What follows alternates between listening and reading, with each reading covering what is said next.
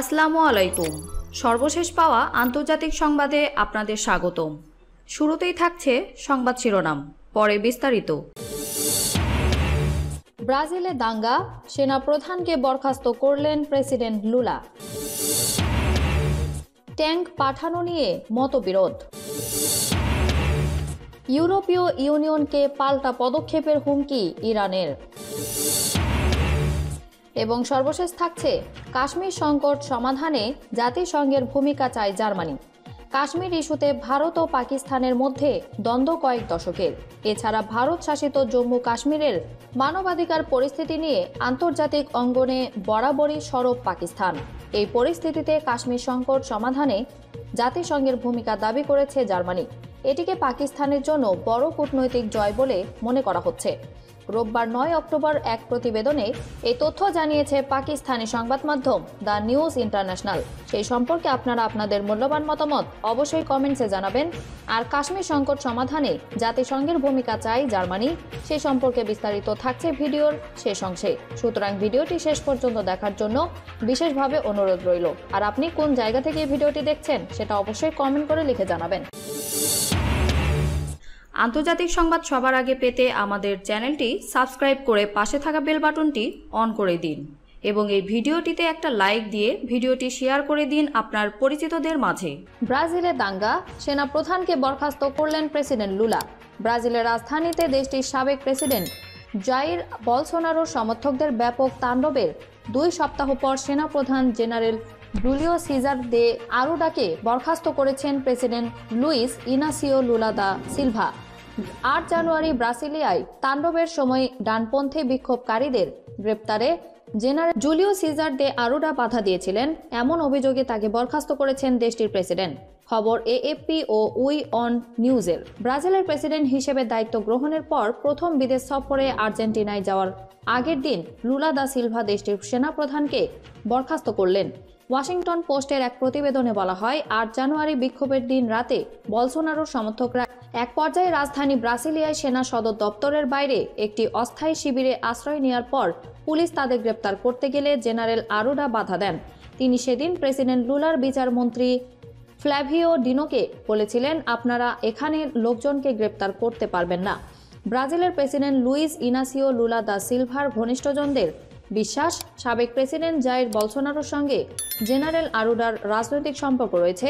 প্রসঙ্গত, আট জানুয়ারি ব্রাজিলের সাবেক প্রেসিডেন্ট জাইর বলসোনারোর সমর্থকরা রাজধানী ব্রাসিলিয়ায় দেশটির জাতীয় কংগ্রেস সুপ্রিম কোর্ট ভবন ও প্রেসিডেন্ট প্রাসাদে হামলা ও ব্যাপক ভাঙচুর চালায়। ট্যাঙ্ক পাঠানো নিয়ে মতবিরোধ, জার্মানিতে পঞ্চাশটি দেশের প্রতিরক্ষামন্ত্রী ন্যাটো ও সংশ্লিষ্ট কর্মকর্তারা দীর্ঘ আলোচনা করেছেন ইউক্রেনের চাওয়া প্রধান যুদ্ধ ট্যাঙ্ক পাঠানোর বিষয়ে।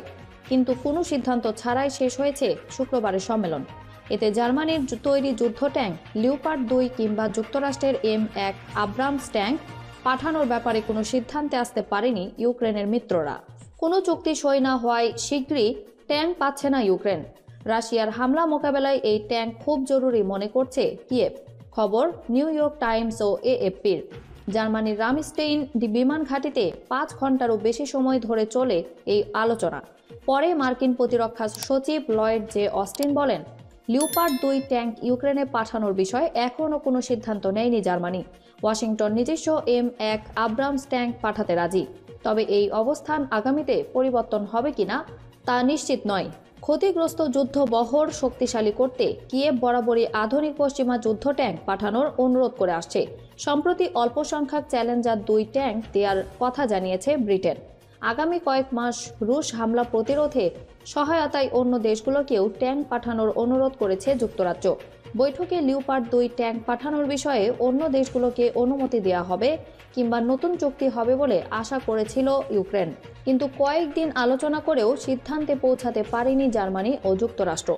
চুক্তি না হওয়ায় নিজস্ব এই ট্যাঙ্ক পাঠাতে পারবে না অন্য চুয়ান্নটি দেশও। কারণ এতে জার্মানির অনুমোদন দরকার। বৈঠকে বার্লিন এবং ওয়াশিংটনের কর্মকর্তারা বলেছেন চুক্তি না হলেও তারা হাল ছাড়ছেন না। যে কোনো সময় পাঠাতে পারেন ট্যাঙ্ক। তারা ইউক্রেনকে সহায়তা করতে অন্য সব ধরনের চেষ্টা চালিয়ে যেতে সম্মত হয়েছেন। অস্টিন বলেন ট্যাঙ্ক ও সাজোয়া যান পাঠিয়ে ইউক্রেনের চাহিদা পূরণে বড় রকম চাপ রয়েছে অংশগ্রহণকারী দেশগুলোর পক্ষ থেকে। জার্মানির প্রতিরক্ষা সচিব বরিস পিস্টোরিয়াস বলেছেন, বার্লিন তার লিউপার ট্যাঙ্কের প্রশিক্ষণ দেবে। ভবিষ্যৎ চুক্তির জন্য ট্যাঙ্কগুলোর একটি তালিকাও করা হবে। কয়েক সপ্তাহে পশ্চিমারা একাধিক নিষেধাজ্ঞা ভেঙে প্যাট্রিয়ট ক্ষেপণাস্ত্র ব্যবস্থা এবং সাজোয়া যুদ্ধযান পাঠাতে সম্মত হয়েছে। এই পদক্ষেপকে রাশিয়া উস্কানি হিসেবে দেখেছে। বসন্তের আগে রুশ হামলা বেড়ে যাওয়ার আশঙ্কা করছে পশ্চিমারা। ফলে কিয়েভে ট্যাঙ্ক পাঠাতে চাপ দিচ্ছে ব্রিটেন ও অন্যান্য দেশ। শুক্রবারের বৈঠকে জার্মানির ওপর ব্যাপক চাপ দিলেও ট্যাঙ্ক পাঠাতে রাজি হয়নি বার্লিন। দেশটি বলছে, ট্যাঙ্ক পাঠানোর সুবিধা, অসুবিধা সব বিবেচনা করেই তারা সিদ্ধান্ত নেবে। এদিকে ইউক্রেনের প্রেসিডেন্ট ভলোদিমির জেলেন্সকি শুক্রবার নিয়মিত ভাষণে বলেছেন, এই যুদ্ধে কিয়েভের প্রতিরক্ষার জন্য ট্যাঙ্ক ছাড়া আর কোনো বিকল্প নেই। তিনি বলেন, যত তাড়াতাড়ি সম্ভব ট্যাঙ্ক পাঠানোর বিষয়ে সিদ্ধান্ত নেওয়া উচিত। রাশিয়ার ভাড়াটে যোদ্ধা সরবরাহকারী প্রতিষ্ঠান ওয়াগনার গ্রুপকে আন্তদেশীয় অপরাধী সংগঠন বলে ঘোষণা দিয়েছে যুক্তরাষ্ট্র। আগামী সপ্তাহে গ্রুপটি ছাড়াও সহায়তাকারীদের ওপর নতুন করে নিষেধাজ্ঞা দেওয়ার কথা জানিয়েছে ওয়াশিংটন। মার্কিন জাতীয় নিরাপত্তা মুখপাত্র জন কির্বি জানান, সংগঠনটি ইউক্রেন ও অন্য জায়গায় নৃশংসতা চালাচ্ছে, লঙ্ঘন করছে মানবাধিকার। বর্তমানে ইউক্রেন যুদ্ধে গ্রুপটির পঞ্চাশ হাজার ভাড়াটে সদস্য রয়েছে, এরা রুশ বাহিনীর পক্ষে যুদ্ধ করে যাচ্ছে। ইউরোপীয় ইউনিয়নকে পাল্টা পদক্ষেপের হুমকি ইরানের। ইরানের পররাষ্ট্রমন্ত্রী হোসেন আমির আবদুল্লাহিয়ান হুঁশিয়ারি উচ্চারণ করে বলেছেন, ইসলামী বিপ্লবী গার্ড বাহিনী বা আইআরজিসিকে সন্ত্রাসী সংস্থা হিসেবে কালো তালিকাভুক্ত করার বিষয়ে ইউরোপীয় পার্লামেন্ট যে উদ্যোগ নিয়েছে তা বাস্তবায়ন করা হলে ইরানও পাল্টা ব্যবস্থা নেবে। রবিবার এক টুইটার পোস্টে আবদুল্লাহিয়ান বলেন, ইরানের সংসদ ইউরোপীয় দেশগুলোর সেনাবাহিনীকে সন্ত্রাসী হিসাবে তালিকাভুক্ত করার জন্য কাজ করছে। ইরানি পররাষ্ট্রমন্ত্রী বলেন, ইউরোপীয় পার্লামেন্ট নিজেই নিজের পায়ে গুলি করেছে। ইরানও এর সমুচিত জবাব দেবে। বুধবার ইউরোপীয় পার্লামেন্ট আইআরজিসিকে সন্ত্রাসী সংগঠন হিসেবে কালো তালিকাভুক্ত করার জন্য ভোটাভুটি করে। পরে তা পররাষ্ট্র নীতি বিষয়ক বার্ষিক রিপোর্টে সংযুক্ত করা হয় এবং আইআরজিসিকে কালো তালিকাভুক্ত করার জন্য ইউরোপীয় ইউনিয়নভুক্ত দেশগুলোর কাছে পাঠানো হয়। কাশ্মীর সংকট সমাধানে জাতিসংঘের ভূমিকা চায় জার্মানি। কাশ্মীর ইস্যুতে ভারত ও পাকিস্তানের মধ্যে দ্বন্দ্ব কয়েক দশকের। এছাড়া ভারত শাসিত জম্মু কাশ্মীরের মানবাধিকার পরিস্থিতি নিয়ে আন্তর্জাতিক অঙ্গনে বরাবরই সরব পাকিস্তান। এই পরিস্থিতিতে কাশ্মীর সংকট সমাধানে জাতিসংঘের ভূমিকা দাবি করছে জার্মানি। এটিকে পাকিস্তানের জন্য বড় কূটনৈতিক জয় বলে মনে করা হচ্ছে। রোববার নয় অক্টোবর এক প্রতিবেদনে এই তথ্য জানিয়েছে পাকিস্তানি সংবাদ মাধ্যম দ্য নিউজ ইন্টারন্যাশনাল। প্রতিবেদনে বলা হয়েছে, কাশ্মীর বিরোধ সমাধানে জাতিসংঘের ভূমিকা রাখার আহ্বান জানিয়েছেন জার্মানির পররাষ্ট্রমন্ত্রী। সম্ভবত এবারই প্রথমবারের মতো ইউরোপীয় কোনো পররাষ্ট্রমন্ত্রী কাশ্মীর বিরোধ সমাধানে জাতিসংঘের ভূমিকা চাইলেন। মূলত শুক্রবার জার্মান পররাষ্ট্রমন্ত্রীর এই আহ্বানকে জার্মানিতে পাকিস্তানের বড় কূটনৈতিক জয় বলে মনে করা হচ্ছে। জম্মু ও কাশ্মীর বিরোধ সমাধানে জার্মানি কি ভূমিকা পালন করতে পারে সে বিষয়ে পাকিস্তানের পররাষ্ট্রমন্ত্রী বেলাওয়াল ভুট্টো জারদারি এবং তার জার্মান সমকক্ষ অ্যানালেনা বেয়ারবকের যৌথ সংবাদ সম্মেলনে এই প্রশ্ন উত্থাপিত হলে এই উত্তর দেন জার্মানির পররাষ্ট্রমন্ত্রী। দ্য নিউজ ইন্টারন্যাশনাল বলছে, শুক্রবার জার্মান পররাষ্ট্র দপ্তরে উপস্থিত পাকিস্তানিরাও পররাষ্ট্রমন্ত্রী অ্যানালেনা বেয়ারবকের এই মন্তব্যে আনন্দদায়কভাবে বিস্মিত হন। পাকিস্তানিরা আশা করছেন বেয়ারবকের এই মন্তব্য জার্মান পররাষ্ট্রনীতিতে পরিণত হবে। এদিন অ্যানালেনা বেয়ারবক বলেন, কাশ্মীরের পরিস্থিতি নিয়ে জার্মানিরও ভূমিকা ও দায়িত্ব রয়েছে।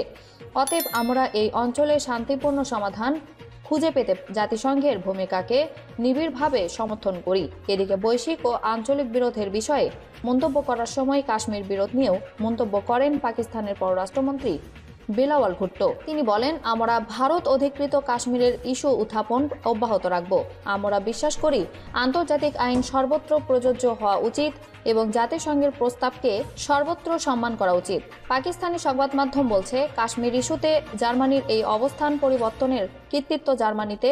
নিযুক্ত পাকিস্তানের রাষ্ট্রদূত ডক্টর মোহাম্মদ ফয়সালকে দেওয়া উচিত, কারণ তিনি পররাষ্ট্র দপ্তরের সাথে পররাষ্ট্রমন্ত্রীর সফরের সমন্বয় করেছিলেন এবং কাশ্মীর বিরোধ ও ভারত অধিকৃত কাশ্মীরে কাশ্মীরিদের দুর্দশার বিষয়ে সচেতনতা গড়ে তুলেছিলেন।